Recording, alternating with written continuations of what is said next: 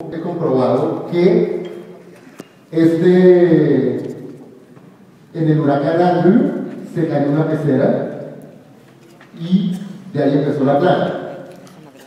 Hay millones y millones de peces peón en el Caribe y en el Golfo de México y se ha comprobado que todos vienen de tres madres.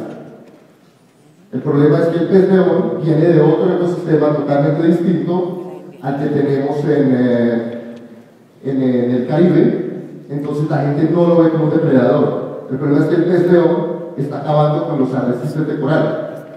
Y por otro lado, alguien tiene unas espinas que son venenosas, no mortales, pero muy incómodas las picadas, y está picando a los bañistas en las costas.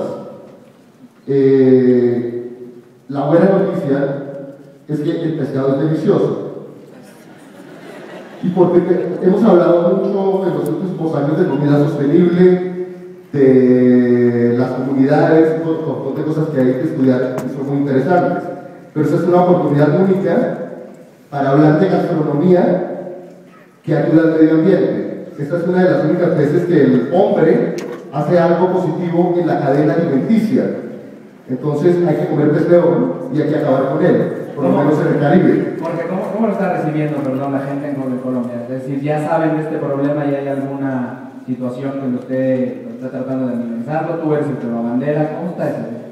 No solo en Colombia, sino todo, en, inclusive en México, en las islas del Caribe. Hay este pescado es mexicano. Sí. Este pescado es mexicano y esa es la gracia, que es un problema común de todos los países del Caribe. Entonces, el mismo problema que tenemos en el pez, con el pez león en eh, San Andrés Islas en Colombia o en eh, Cartagena, lo tienen en Playa del Carmen en México y lo tienen en las Bahamas y lo tienen en casi todos sitios. Entonces vamos a hacer, vamos a coger esto, vamos a hacer un plato colombiano y estamos abarcando un problema común, que es de todo el Caribe, de toda la región.